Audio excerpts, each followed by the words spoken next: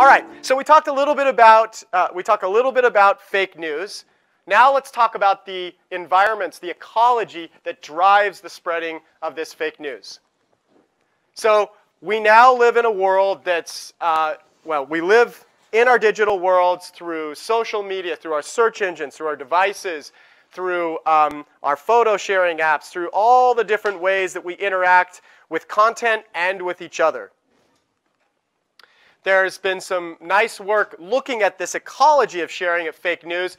Jonathan Albright um, has some nice posts on medium.com where he write, he, he's, he's done some sort of uh, um, analysis looking at uh, this ecology. Basically, you're looking here at kind of the major players that receive links from fake news sites. The size of the node represents, um, it represents the amount of links coming in from these fake news sites. The color represents the um, political leaning. Uh, the, if it's green, it's sort of, um, uh, sort of, sort of neutral. The blue and red indicate um, the political different parties where this news is, is coming into and linking.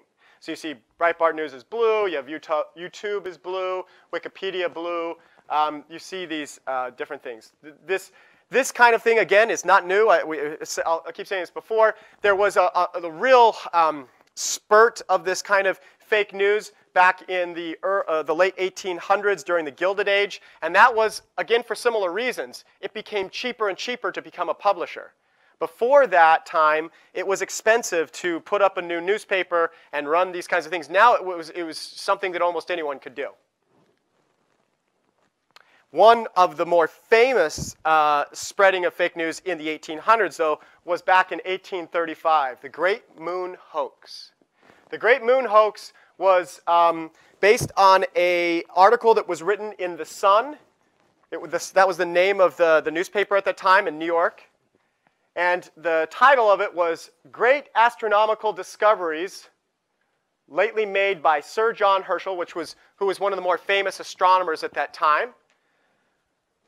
The claim was that this astronomer had built a big enough telescope that this individual could see to the moon. And at the moon, they were, they could, they were finding unicorns.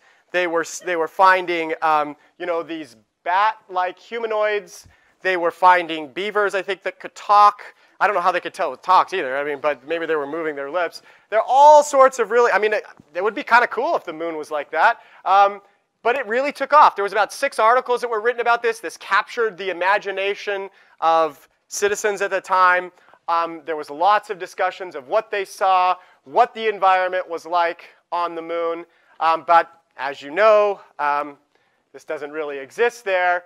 What happened to this after it was sort of debunked, and many years later debunked, officially debunked? What happened to this particular newspaper? Not just at the time of the articles, of course it sort of got bigger and got uh, received a lot of attention for this particular hoax. But what happened even after it ended?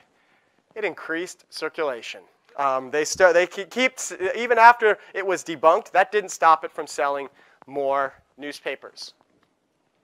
There's this term that's used in communication and journalism, something called yellow journalism. So this is a, yellow journalism is the, the kind of um, reporting, kind of journalism that reports sensational topics, that reports uh, sort of tabloid-like. I mean, tabloidism and yellow journalism, there are some uh, slight, subtle differences.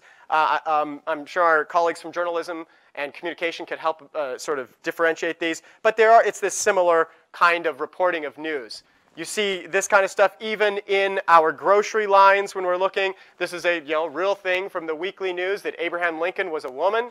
Well, it's um, not real that he was a woman. It's real that it's from the weekly news. yeah, Just, just. I'm glad you clarified that. yeah. Well, there's also a shocking pic in in White House basement of of, of this kind of information.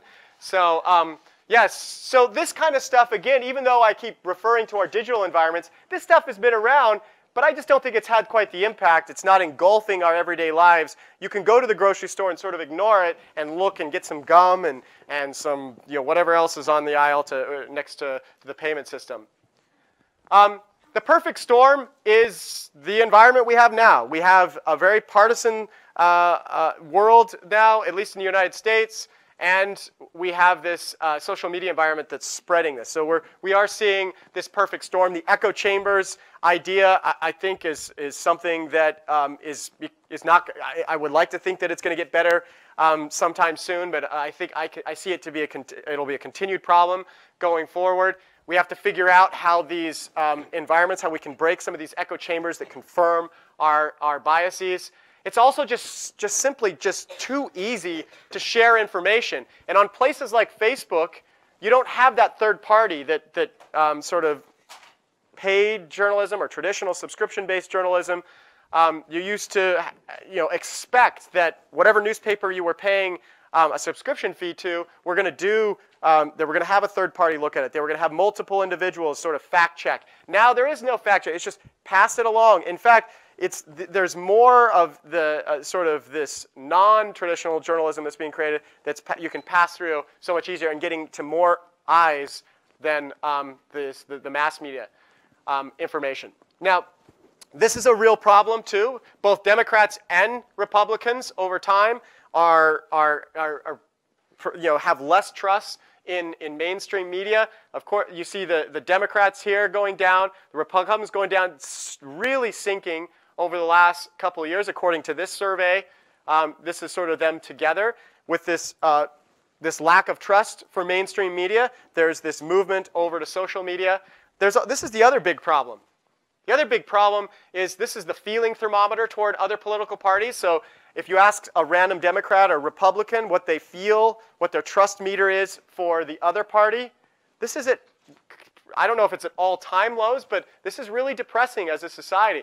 I certainly, I'm more of an optimist. I don't think we have as many differences as these kinds of figures are showing. I think there are more similarities than, than we give credit for. The other, the other um, uh, real bad issue, just like the article we mentioned, um, the Russians are involved. Every country, I mean, the United States is involved in this kind of uh, this kind of information warfare too.